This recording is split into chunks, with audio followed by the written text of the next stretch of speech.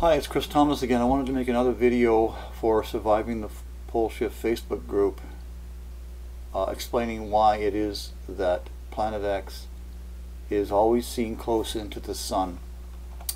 We had a new uh, view of Planet X. Uh, I got this off of Pole Shift Ning. Um, here you can see the little lump on the side there, the classic angle, classic location. Uh, these are lens flares here. Um, so as you can see again it's showing up close into the sun. So I want to explain why it is that uh, Planet X does this. Let's start with an overview of uh, the orbit of Planet X. Um, now this is wrong.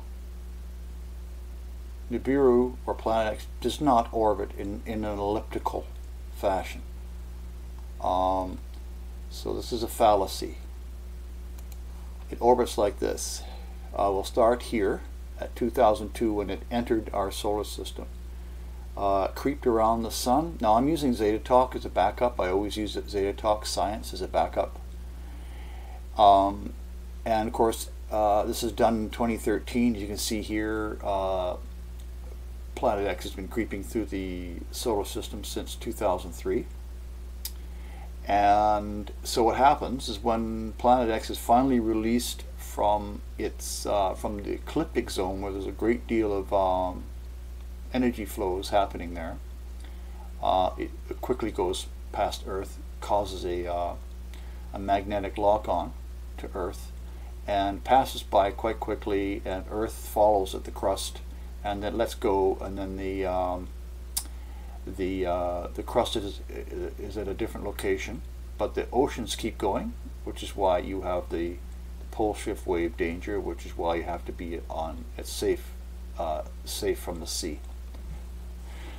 But that's another another video report. So Planet X carries on out into space, and it comes back. They say I think it's seven years later uh, on the light blue line is the is the return path, and it goes around the other side of the sun, and then it whips out.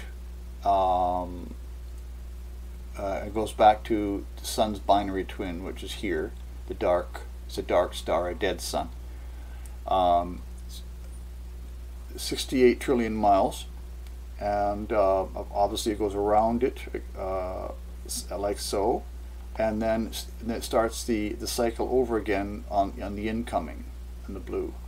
He, in the center area here is a gravity balance between the sun and uh, its binary twin. So Planet X slows down dramatically here and may spend maybe 500,000 years uh, dithering here, moving very slowly. And it's only until it gets close to one of its gravity foci, such as our sun or the binary sin, uh, binary binary twin uh, is it, it, speeds up it goes very fast. I remember reading in Zeta Talk that it approaches the speed of light.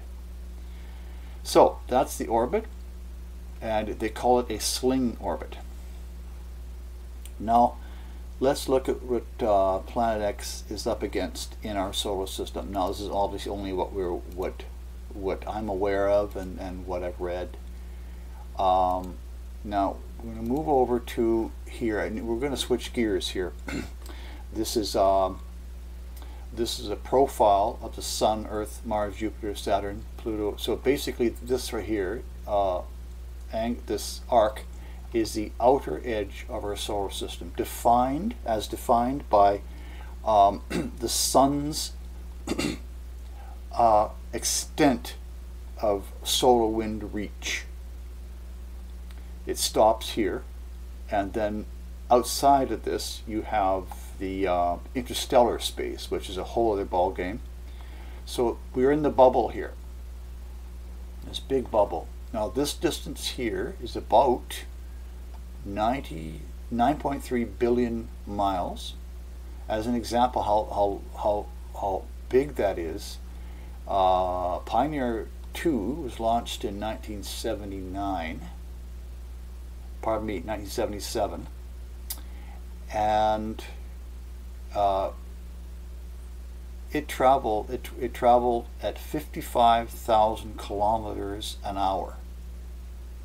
And it went it took over 38 years at that speed to clear the sun's heliosphere or the bubble.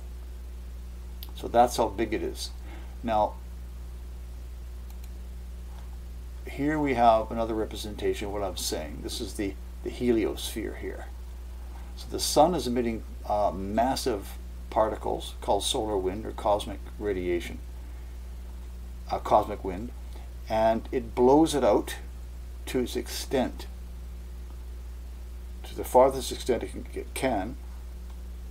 Now what happens is this entire mass of, of uh, area here is full of atomic uh, particles and circulating. And near the sun, they recirculate. Now there's another one, there's another, you can see here of the more of the inner disturbance of the solar system. This is the magnetic field of the sun as it rotates, blowing out these waves.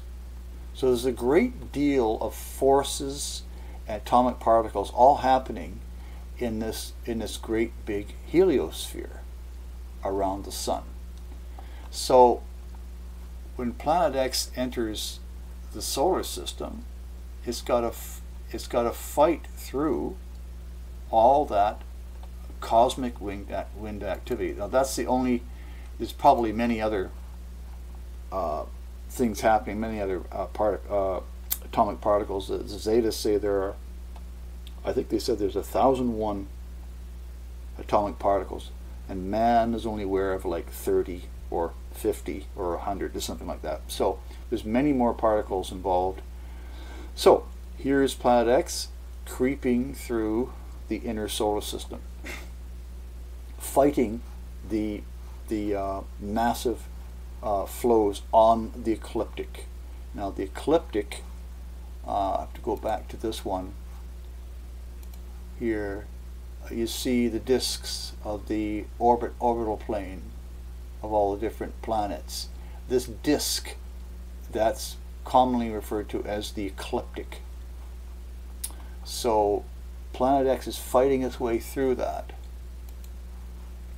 Now, I want to go to another one of my drawings. Uh, let me find it here. This one. Okay, so this is Planet X, that's the Sun. This is Earth, this is Venus, and this is Earth's dead twin. Um, this light blue, this light circle here is called what the zeta cup, zeta, uh, the zetas call uh, the cup, and that's formed by a very simple pr uh, principle. When you've got uh, a blockage in a flow, uh, uh, the, the flow moves around the blockage and creates a back eddy behind it and that's really is that's what's happening. Only instead of water or whatever or air, it happens to be uh, cosmic particles, uh, atomic particles from the sun, blown out from the sun. So Earth is caught in this cup with the other two planets. Uh, this also means that Earth is stopped in orbit. Now, that's another discussion, of course, um, but we wouldn't be seeing Earth's dead twin um, to the west if you weren't stopped in orbit. That's all I'm going to say right now. I can argue this and prove it. Uh, I already have actually a drawing made up, uh, which will come out in my next newsletter, which uh, pretty much nails it to the wall to anybody who wants to figure it out with me. Uh, if you read it and look at the at, at, at my graphic, uh, it's quite extensively uh, detailed, but you will see that it proves beyond a shadow of a doubt that the Earth is indeed stopped in orbit. Anyways, here it is in the cup, standing in front of planet X.